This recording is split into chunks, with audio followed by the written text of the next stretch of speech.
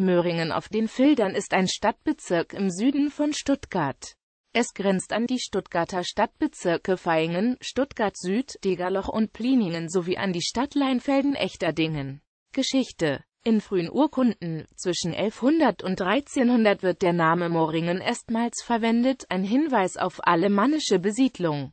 Zuerst waren die Grafen von Kalf und die Pfalzgrafen von Tübingen ab 1295 Dekasekunden Katharinenspital Esslingen im Besitz von Möhringen, bis es schließlich nach Württemberg kam.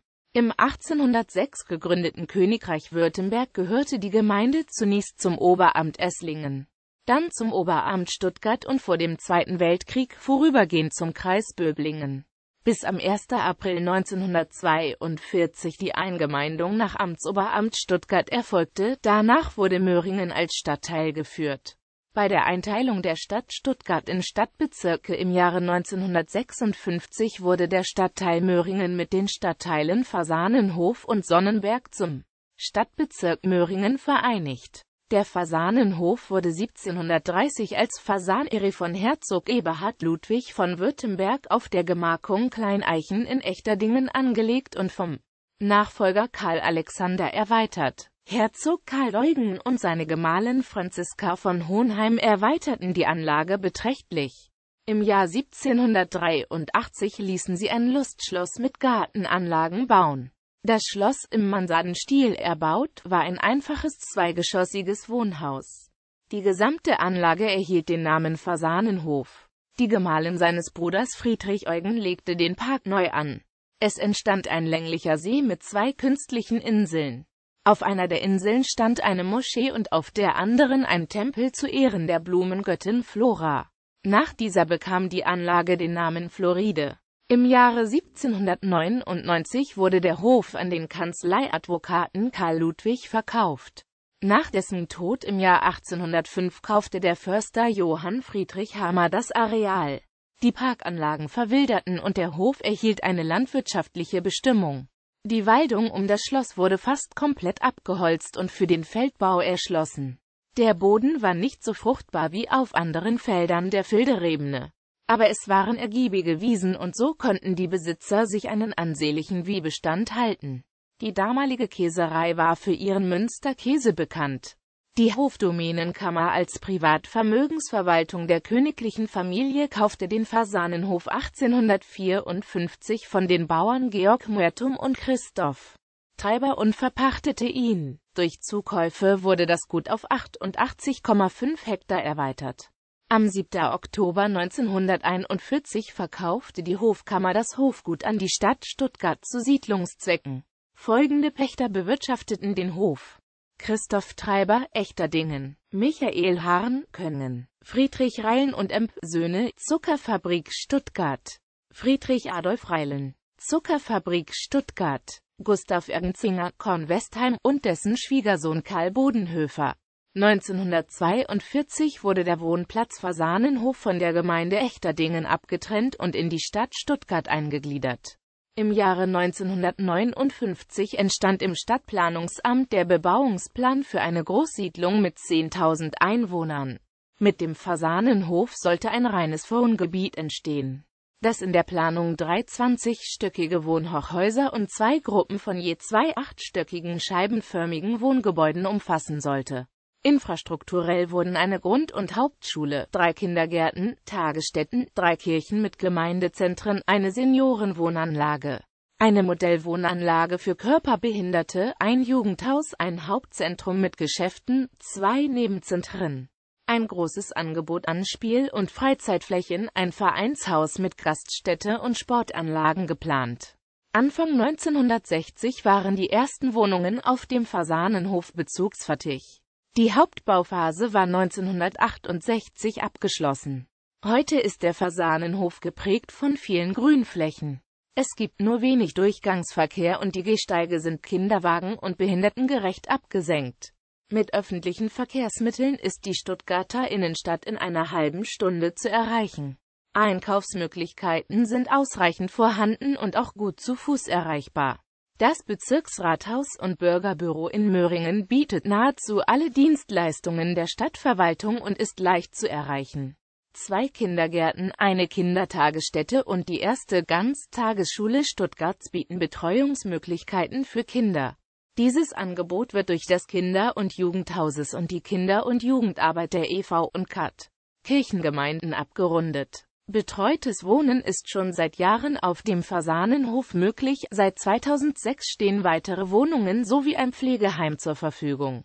Bei der Neuordnung des Versorgungszentrums Europaplatz wurde der alte Europaplatz 2011 abgerissen und wird durch mehrere Gebäudekomplexe bestehend aus Laden- und Dienstleistungszentrum, Gastronomie, Kindertagesstätte und Wohnungen ersetzt. Der Sonnenberg wurde über Jahrhunderte als Weinberg genutzt.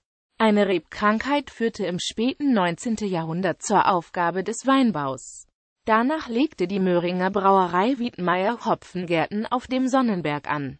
Ab 1890 gab es auch vereinzelte Obstgärten auf dem Sonnenberg, in denen vor allem Spalierobst angebaut wurde. In den Jahren 1897 und 1900 entstanden die ersten zwei Sommer- und Wochenendhäuschen auf dem Sonnenberg. 1903 wurden die ersten Wohnhäuser, villenartige Gebäude inmitten großer Grundstücke und der heutige Gasthof Sonnenberg errichtet. Die Gaststätte in Aussichtslage machte den Sonnenberg zu einem beliebten Ausflugsziel.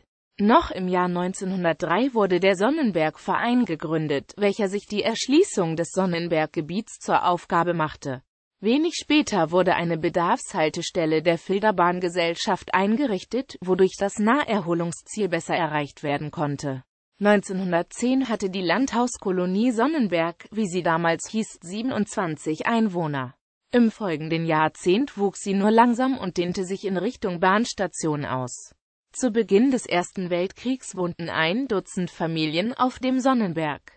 Seit 1906 gab es eine Wasserleitung und seit 1925 Gasanschluss. Örtliche Infrastruktur begann sich mit dem ersten Laden 1927 und der ersten Bäckerei 1931 zu entwickeln. Die Gemeinde Möhringen erstellte 1930 einen Ortsbauplan, woraufhin zwischen 1934 und 1936 über 200 Wohnhäuser erbaut wurden.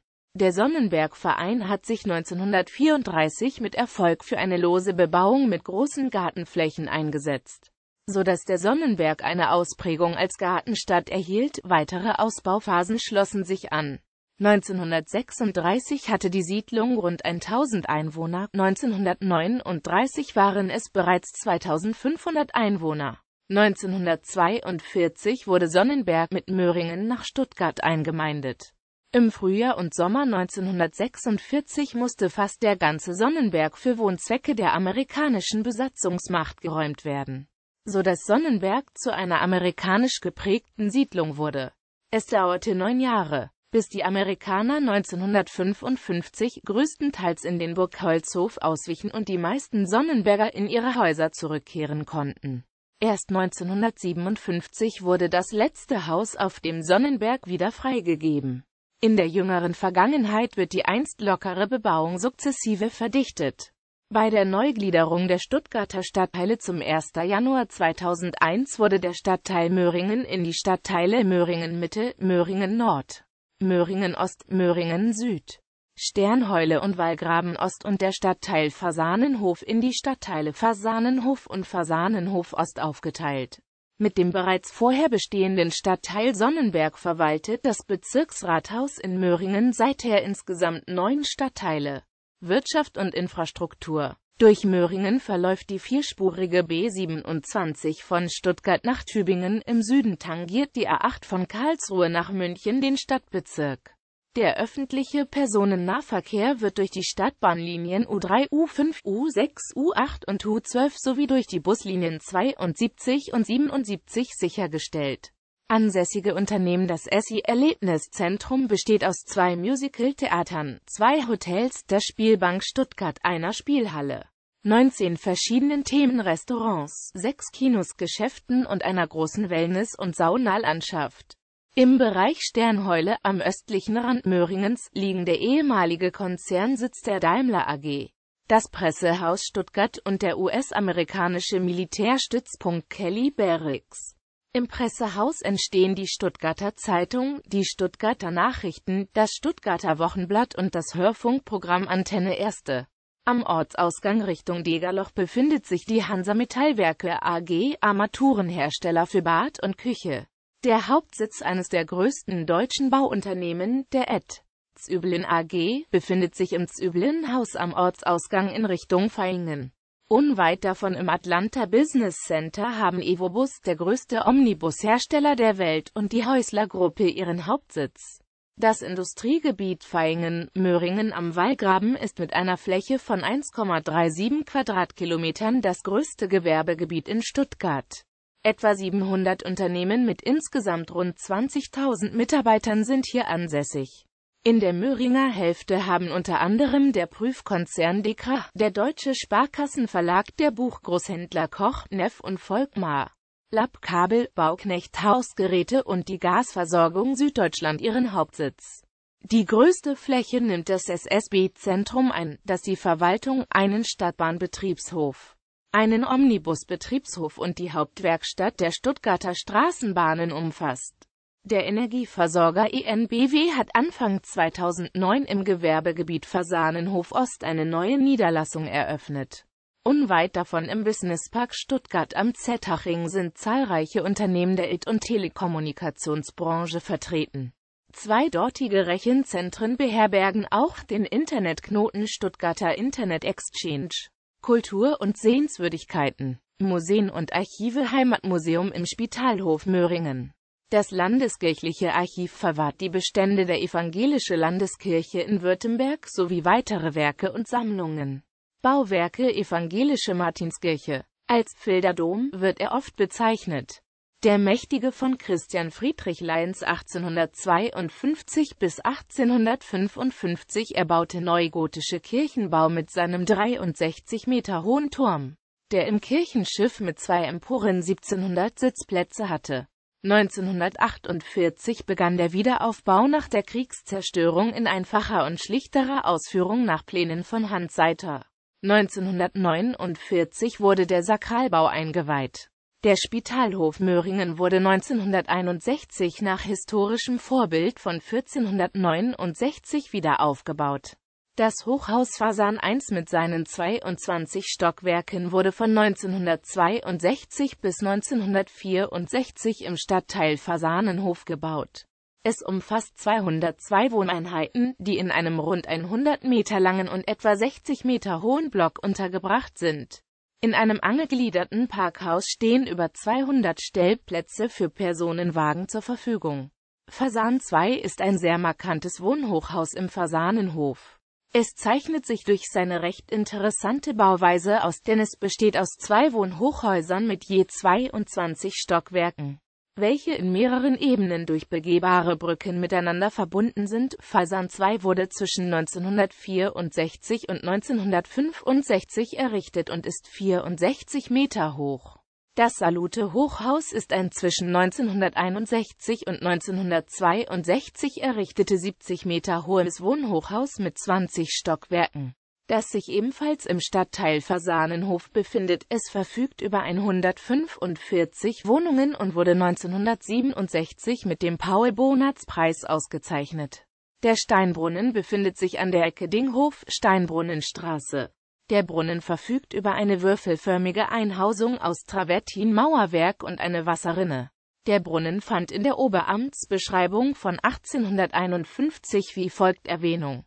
Östlich von Möhringen am sogenannten Märzenbaum ist der reichhaltige, nie versiegende Steinbrunnen, dessen Wasser einen willkommenen Zufluss für die obere Kirschmühle liefert. Unterhalten vom Tiefbauamt ist er jährlich von Mitte Mai bis Mitte September in Betrieb. Politik, Blasonierung. Von Gold und Silber geviert, erste eine aus der Teilung wachsende, in einem Kreuz endende schwarze Tragestange überdeckt von einer dreilatzigen roten Fahne mit roten Fransen zweite ein schwarzer Mohrenrumpf mit roten Lippen, dritte fünf schwarze Scheiben, vierte ein rechts ausgebrochenes sechsspeichiges rotes Rad.